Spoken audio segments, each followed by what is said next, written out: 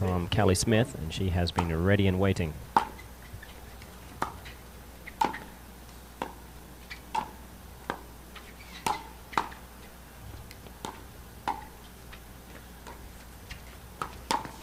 And Oh. a beautiful move and Ernie from